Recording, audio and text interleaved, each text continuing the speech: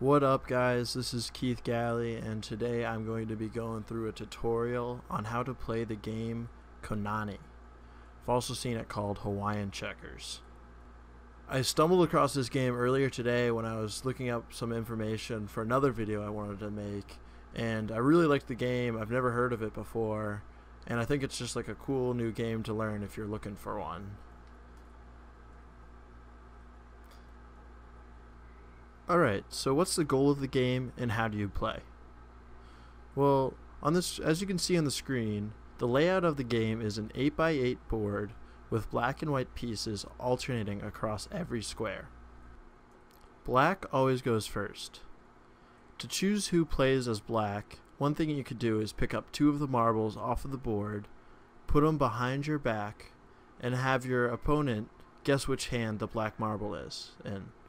If he's correct, then he'll play first. If he's wrong, then he'll be white and you'll play first. The black player now must remove an initial black piece to begin the game. He can remove one of the two middle black pieces, or he could also remove one of the two corner black pieces. In this example, I'll remove one of the black pieces in the middle.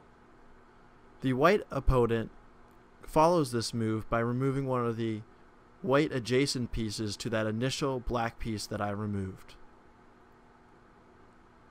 The game now continues as follows. Each turn, a player must jump one of the opposing player's pieces. So in this case, I'll jump here. The opponent then responds by also making a jump. This continues until one player is unable to make any jump. The player who cannot make a jump is declared the loser. To reiterate, the object of the game is to force your opponent to be unable to make a jump. If this happens, then you are the winner. One piece of information that is important to note is that double jumps are allowed. So in this case, I'm going to move my piece from up here in the top to double jump downwards. You can do this if you think it's to your advantage.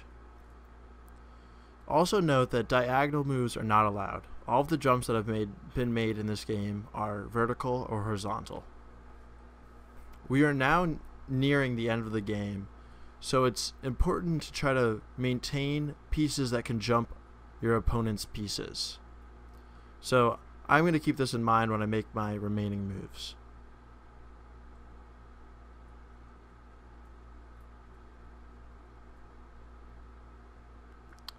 So as you can see, I'm playing against a pretty easy computer, and the computer now has no remaining moves. If you look at any of the white pieces, he cannot jump my black piece. This means that I am the winner. So I just want to say a couple things before I conclude this video. Um, so it's kind of hard to find this game uh, on a desktop app online. So what I did for this video is I downloaded an Android version by Lee Bradley. So that's a good way to play. Another option is to use uh, another game board. So you could also use an Othello board and set it up in the necessary way to play this game. Um, if there's enough interest, I can make a strategy video on this game. You know, the best way to play in order to win. And if you have any other suggestions for future videos I should make, let me know. Peace out, guys.